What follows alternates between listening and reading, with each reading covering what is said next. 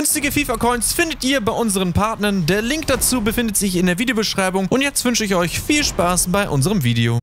Herzlich willkommen hier zu einer neuen Folge von FIFA 15 Karrieremodus mit dem FC Bayern München. Ich habe mir überlegt, dass wir jetzt ähm, die Million hier erstmal für den ähm, Winter aufsparen. Und dann gucken wir mal. Wenn es jetzt nicht irgendwelche besonderen Sachen noch gibt, die man sich vielleicht noch unbedingt holen müsste. Antonio Rüdiger, einfach weil er einen coolen Namen hat. Läuft in elf Monaten aus. Können wir halt mal gucken. Im, hm, guck mal, auch, auch schon 24 Jahre alt. Kann man echt mal gucken. Im Winter, dass man die vielleicht irgendwie verpflichtet. Hier ein junger Spieler, ne, Boateng und so wird ja auch nicht mehr jünger. Oder Benatia. Also es sind schon, das kann man alles schon mal nachschauen. Also im Winter, denke ich mal. Da werden wir nochmal ordentlich zuschlagen. Günstig sozusagen. So, jetzt gucken wir und hoffen wir mal, dass vielleicht ähm, der ein oder andere Spieler noch ausgeliehen wird. Ansonsten sitzen da ein paar, ja gut, immer mal wieder auf der Bank. Muss ich mal gucken, dass ich die dann vielleicht eingewechselt bekomme von den jungen Spielern. Okay, Lewandowski für 120 Millionen, Ronaldo für 89, das war richtig ein Schnäppchen. Also, Anführungsstrichen, richtiges Schnäppchen. Weil man kann auch viel mehr für Ronaldo hinlegen. Wenn man Pech hat, äh, will Real 120 Millionen auch haben. Ne? Also von daher ist das schon okay. So, und leider werden keine weiteren Spieler ausgeliehen. Das finde ich schade. Aber okay, kann man halt nicht viel machen. Müssen wir jetzt mal gucken. So, damit sind die Transfer, die letzten Transferminuten, Stunden und so weiter vorbei. Hm, Strohmann für 30 Mille, okay. So, Frist ist abgelaufen. Was ist da, kommt auf uns zu? Was ist das? Und halte Dude, Mannschaft absenden. Ah, gucken wir mal. Lasogga zum Beispiel kann nicht. Da müssen wir mal was anderes reinbringen. Sami Kedira, eine 86, okay. Hm, Castro Bender. Ja, kann man noch gucken. Mustafi. Sind jetzt so die stärksten, ne? Also eigentlich müsste ich Kedira auch mitnehmen. So. Okay. World Cup Qualification. Okay, ich denke mal, dass, es, dass unsere Mannschaft das so von alleine hinbekommt, dass wir für die Quali jetzt nicht unbedingt uns so mega anstrengen müssen. Ähm, düt, düt, düt. Aktuelles aus Italien, schauen wir ganz kurz mal an. Auch hier Jovinko, jo. Hamschick, Caceres. Jo, also jetzt nichts Besonderes. Das gucken wir uns demnächst im Winter dann wieder an. Ich denke mal, dass die Aufstellung hier so passt. Wir könnten... Oh, Götze hat sich auf 87 verbessert.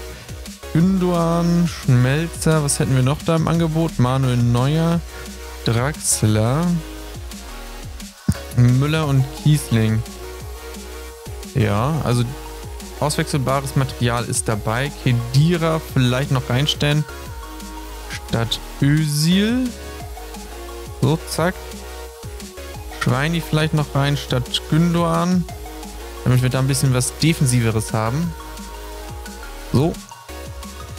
Und dann zack, lassen wir das mal simulieren gegen Dänemark. Bin mal gespannt, wie die Simulation hier ausgeht. Hoffentlich keine Verletzung. Aus unseren Reihen. Neuer oder so. Boateng. 1-0 von Sidney Sam, der beste Spieler der Welt. Das ist oftmals so ein Sam verletzt. Na gut. Damit war's das um Sidney Sam. Der beste Spieler hat alles gegeben. In der zweiten Minute das Tor gemacht. 2 zu 0 von Schürle. Oh, 2-1. Da kommt schon mal jetzt der Ausgleich näher. 3-1 durch Mario Götze. Sehr schön. Einfach abbrechen, beenden. 4-1, sehr gut durch Thomas Müller. Wunderbar. Eine Verletzung ist natürlich kacke. Fällt zwei Monate aus. Der beste Mensch fällt da einfach aus. Ähm, dann müssen wir hier wechseln und dann stellen wir da mal Thomas Müller rein, denke ich. So zu mir. Ja, Toni Groß. Hm. Bin da nicht der Toni Groß-Fan, so wirklich. Na gut, nächstes Match gegen ähm, Bulgarien. Also wir haben jetzt drei Punkte gesammelt, Bulgarien bisher noch keine. Einfach jetzt mal hier gucken, was da am Stissel so ist. Qualifikation ist natürlich schon nicht verkehrt. Auswärtig äh, zu simulieren ist immer sehr schwierig. Ich glaube, da hat man ganz schlechte Karten. Aber wir machen trotzdem mit Thomas Müller das 1 zu 0. Wunderbar. Sehr, sehr, sehr gut. Nebenbei Türkei, Ungarn 1-0, Russland, Dänemark 1-0. Das ist schon nicht schlecht. Gelbe Karte für Zanev. Gießny kommt rein für Reus und da ist der Ausgleich 1-1, das ist ärgerlich. Lahm macht das 2 zu 1. Super, sehr, sehr gut, Philipp Lahm. Und vorbei. 1 zu 2, ganz knappe Geschichte. Hier sehen wir noch Türkei-Ungarn 3-1, Russland-Dänemark 2-0. Türkei-Ungarn war zur Halbzeit 2-0. Okay, man sieht immer... Ich weiß nicht warum, aber warum wir es zweimal da sehen oder mehrmals oder was auch immer die letzten Ergebnisse, keine Ahnung. Ich glaube, das ist einfach der Ticker, der da durchläuft, ne?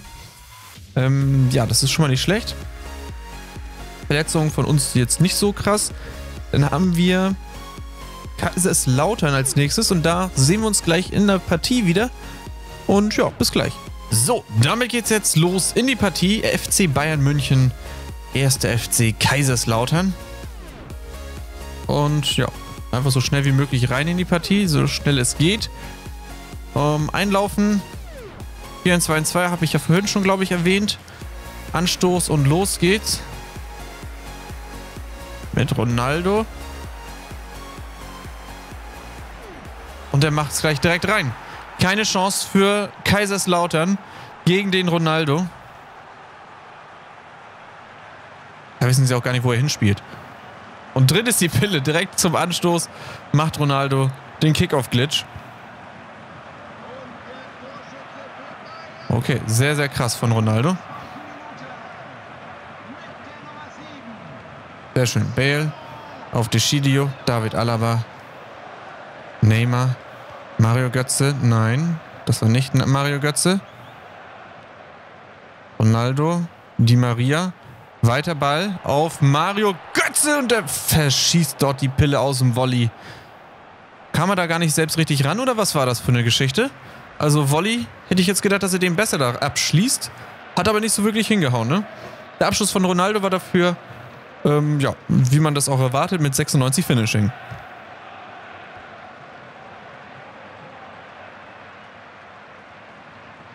Sehr schön. Benatia holt sich da die Pille.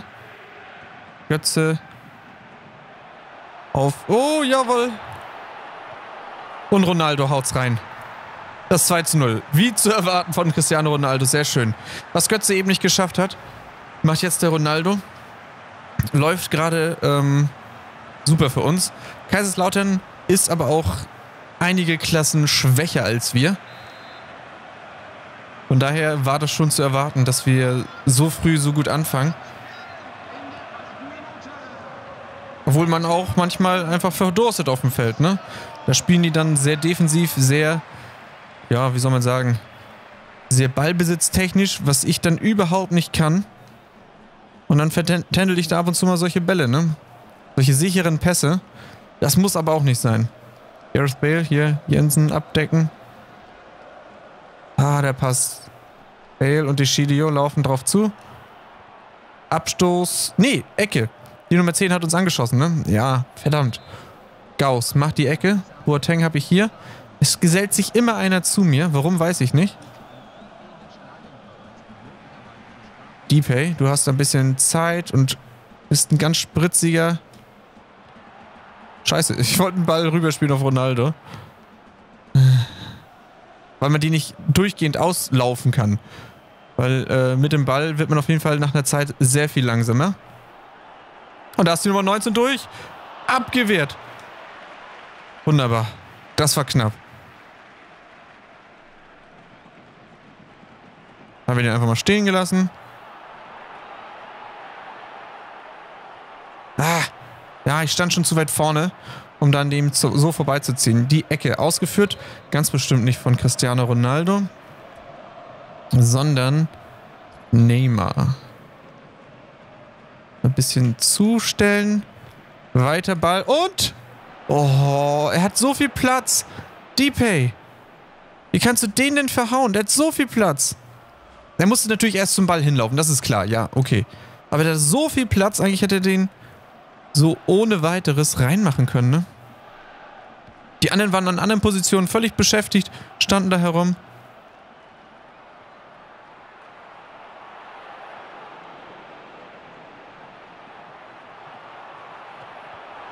Schade. äh, mit Ronaldo sich durchtanken, das ist eigentlich die Killermaschine. Na gut, dann lassen wir Ronaldo jetzt mal den Stoß da vollführen. Und das ist richtig mies. Der Torwart kommt da nicht ran. Und dann ist es da Benatia, Benatia sozusagen, der das Ding da so reinmacht. Alter Finne. Kopfball. Kommt er so ran und dann, düpp, danke. Da muss man ihn irgendwie vorher auch hindern. Okay, es geht schon wieder los. 3 zu 0. Gegen Kaiserslautern, okay, ist ähm, jetzt nicht Real Madrid, gegen den wir spielen. Aber es kann halt auch mal ganz anders aussehen, ne? Indem man jetzt hier zum Beispiel einen Treffer reinkriegt, kann sich das ganz schnell das Blatt wenden.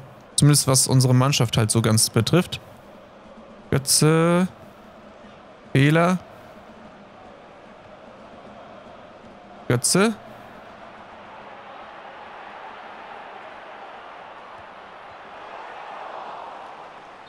Abseits. Ah! Er hat den Ball auch komisch angenommen. Ich wollte eigentlich schießen und so, aber einfach hat er ihn komisch angenommen. Hier, so ein bisschen von Ronaldo betätschelt werden. Äh, so war das nicht geplant. Die Maria hinterher. Sehr schön. Läuft mit der Mannschaft eigentlich ganz gut, ne? Sollte man aber auch meinen, bei den Top-Spielern, die wir hier haben. Oh, das hat Pay nicht gecheckt. Das hat er nicht gecheckt. Okay, Mario Götze wieder hinterher. Die Maria. Richtig schneller Typ. Einfach auch ZM, dass er das auch kann. Finde ich ganz gut. Und der Ball, der war ja mehr als optimistisch. Also das war ja schon fast... Äh, nee, ich glaube nicht mehr dran, dass wir den Ball hier überhaupt noch in den Reihen halten können. Deswegen schieße ich den einfach mal zum Mond.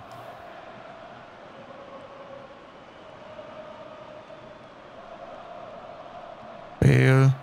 Oh, oh nee, wer war es? Ronaldo. Auf D-Pay. Und dann werden wir da so gebremst. Sehr gut.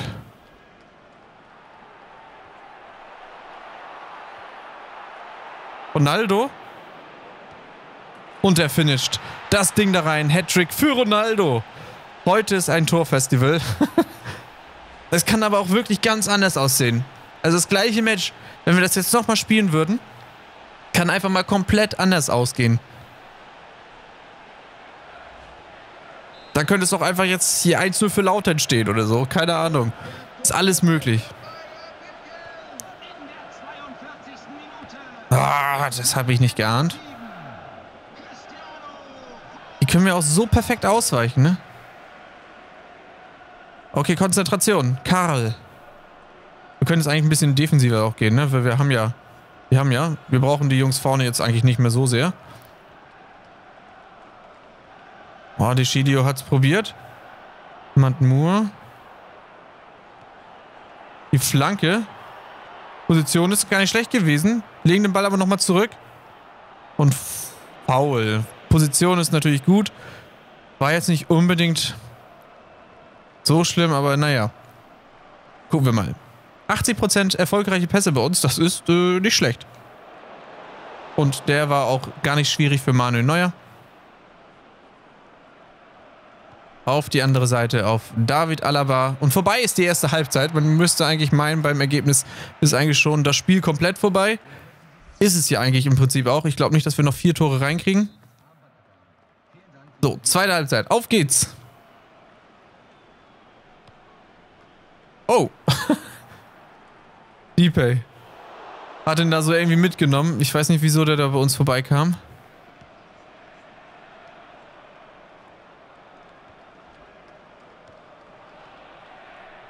Okay. Was habe ich da probiert? Ich weiß es nicht. Die Concentration lässt zu wünschen übrig.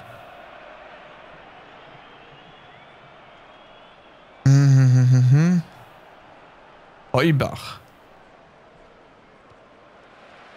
Schön, okay.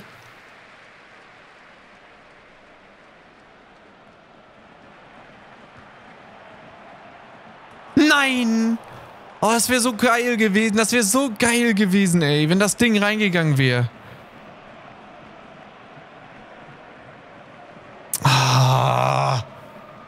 Wäre so heftig geil gewesen, wenn das Ding drin gewesen wäre. Ähm, brauchen wir schon auswechseln? Ich würde sagen, wir wechseln mal Götze aus mit Di Maria. Und Götze dann mit Pogba. Wir bringen Lacassette rein. Der hat eigentlich ähm, auch gut was am Laufen. Und dann wechseln wir mit Dpay aus. Und dann könnten wir Baran Boateng mal reinbringen. Oder Marquinhos. Hat Marquinhos sich gerade auf den 83 verbessert? Ich glaube ja. Oh cool, da lassen wir mal Marquinhos spielen. Weil der war meines Erachtens ein Punkt schlechter als Varan. Hat sich jetzt wohl geändert. Dann wollen wir mal schauen, äh, wie Lacassette aufläuft und spielt. Es ist natürlich schwierig, jetzt hier in so einer Partie auch noch einmal alles wieder zu geben und schon wieder irgendwas mit Vorteil.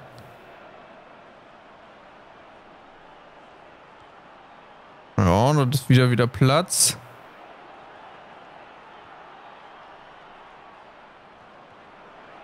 Man kommt einfach nicht an die Pille ran, ne? Das ist schon sehr schwierig.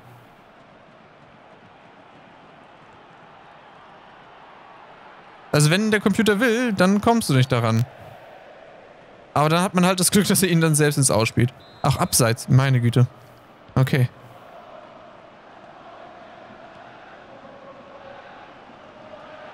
Ronaldo auf Bale. Die kennen sich ja schon auf dem Flügel. Oh, da bleibe ich hängen. Die Maria. Die Nummern sind auch noch nicht alle wirklich final. Also Pogba zum Beispiel eine 14, keine Ahnung. Braucht er die Nummer 14 oder welche Nummer soll er haben? Das weiß ich zwischen alles noch nicht, da habe ich noch nicht so richtig Gedanken gemacht. Alaba hat ja seine 27, Neymar hat seine 11. Einwurf. Go, go, go, go, go, go, go, go, go. Auch ähm, Lacassette. Drei, was hat er, eine 20, 32? Ja, keine Ahnung. Ich habe mir da nicht so wirklich viele Gedanken gemacht im Moment, wie man da die Nummern verteilen kann. Aber dann finde ich immer die Kommentare am besten. What the fuck, Ronaldo 8? Irgendwie so, als, äh, als hätte ich keine Ahnung, dass Cristiano Ronaldo die äh, Nummer 7 normalerweise hat. Aber die Personen könnten doch einfach die Folge mal ganz gucken, da erwähne ich das. Also einfach mal eine Folge ganz gucken, statt einfach immer nur rumzuheulen, dass irgendwas nicht irgendwie richtig ist. Einfach mal eine Folge ganz gucken. Entweder erwähne ich das oder habe es schon mal erwähnt und habe irgendwas mal vergessen. Ist ja nicht so, dass ich ähm, mich immer an alles erinnern kann und so weiter.